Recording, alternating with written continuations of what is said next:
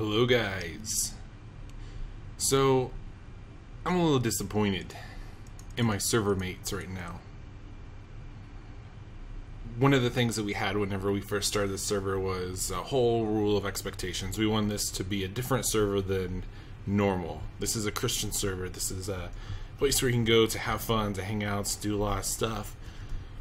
And so we wanted to set up things different. But one of the things that I do love about a lot of different servers on there is the idea of pranks.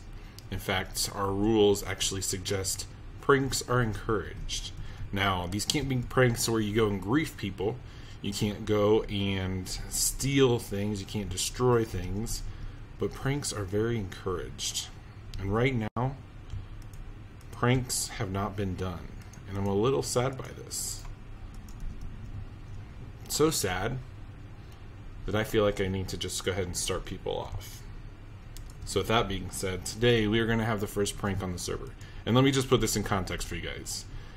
Our server started in March, it's now well into the summer, and so this is what many, many months, and not a single prank has been done.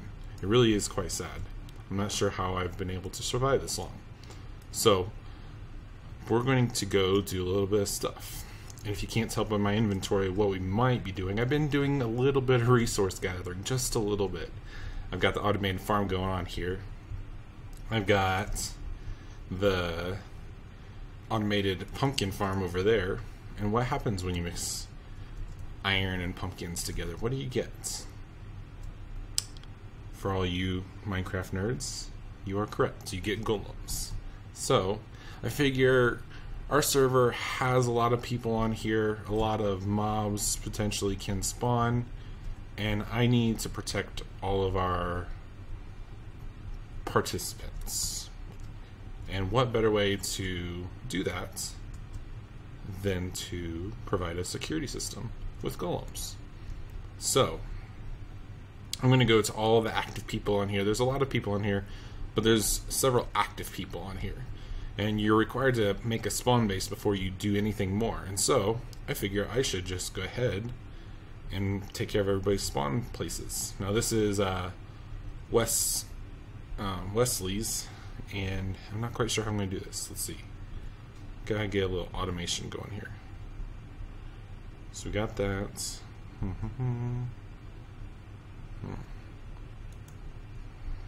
So we could put it right there. No, can't. All right, I'm gonna I'm gonna fill up some of these places, and I will jump right back. All right, I didn't expect this to take so long, but these little boogers get in the way every single time you try to install them. So we have a whole congregation, and for some reason, I think they're Baptists because they're all sticking to one side. But you guys have fun, enjoy your service. Just so you guys know, I'm not going too crazy on this because I want to make sure I don't do the griefing thing. Oh, that makes for headaches trying to get in that door. Um, because I don't want to cause lag spikes.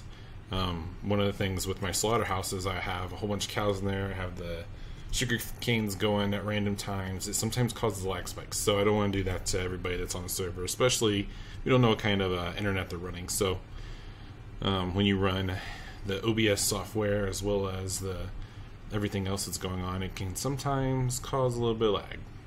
And I'm only doing this for the people that have been active in the last month ish. Um, so some of the people that are on the server but haven't been on in the last month, I'm not going to do just because I don't know if they'll be able to see this or not. Oh. I, I thought this was a house. I guess not. Um, I know where most everybody is are, so if I don't know where you're at and I don't do your prank, then maybe we need to try to figure that out. So we'll see. Um, we're coming up on a new member. He did a little fun thing that we're gonna. This might be a spoiler. Who knows? Or might never come out. Um, he does a lot of live streaming, so look for him whenever you're trying to do some kind of live streaming stuff. Um, but we're gonna fill his place up too. So I'll get this full, and I'll see you guys in a minute.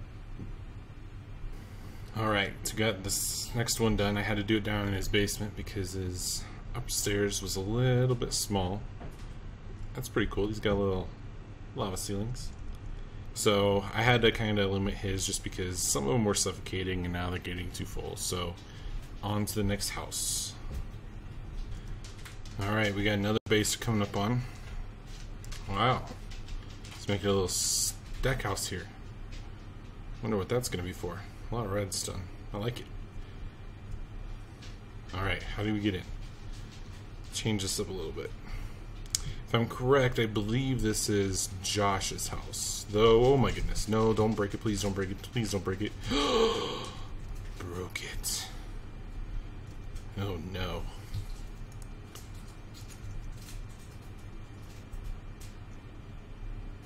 Oh good, that's all it broke. How lucky was that? Alright, so this is Josh's house, I believe. Problem is, Josh, you don't have any doors. How am I gonna... Hmm. Hmm. Jeez. I don't want you sneaking up on me. Alright, I'm gonna fill this place up before I destroy any more of it. I'll jump back. Alright, this one is done. I don't know if they'll ever be able to get go down to these places. Josh, you might have a lot of different places to look for your little guardians here. Ooh, even has a little lava pit. Oh, cobblestone generator. Nice.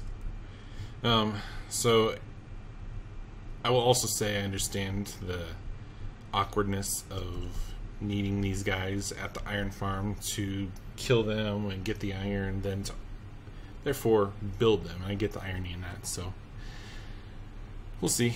So I got a couple more people over here I gotta get to, and wow, creeper damage. I think we'll have to get that repaired.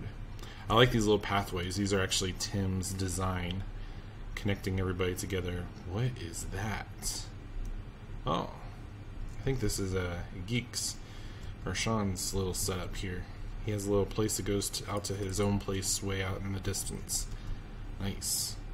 So I am only sticking to the spawn places, which means that his is going to get very crowded here. So I'm going to set this up. I'll see you guys in a second.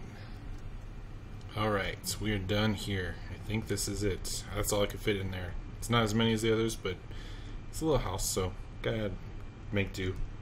Tim's is the next one. He's way over here. I like that. He got a little channel. Um, so another thing about the pranking, just so you guys know as far as context of everything, is if you prank someone, then whatever resources are there goes to that person. So all these resources, all the iron that gets collected if they do decide to kill them, will go to the person that I pranked. So I can't just ask for these resources back. So if I'm pranking them, I don't get to keep the iron and the pumpkins. So I think that that's just something to keep in mind as well with all of this. Um, Tim, where does your house actually start? I think it's over here. So this is Tim's base. You've seen on a previous episode. Um, he actually has a whole place out away from spawn now that he's created, but I'm going to go ahead and print this place. And... Hmm. I'll be right back. Alright, we are done. We are actually ended up in Mogavi's house. It's a very lovely house. Now it has a lovely protection system. One th last thing I'll note is that I did not want to go all out with this prank because I figure it's going to escalate quickly. We have a tendency of doing things over the top. And also with these kind of pranks, I have to do them quickly um, because otherwise I'm afraid that it's not going to work out fully. So everybody's up at the house now getting to enjoy the recording. So I figure I'll just end it here, kind of show off the last little bits. Grant, can you say hi to me? Hi. so I'm gonna leave it here. I'd love to hear what you guys have to say. Got any prank ideas? Anything I can do better next time? We got a lot of golems we could be making, but again, didn't want to add to the lag. Didn't want to overdo it this first one. So we'll see how this goes. But give me your prank ideas. I'd love to hear what you guys have to say about these. So we will talk to you guys next time. Bye. Say bye. Bye.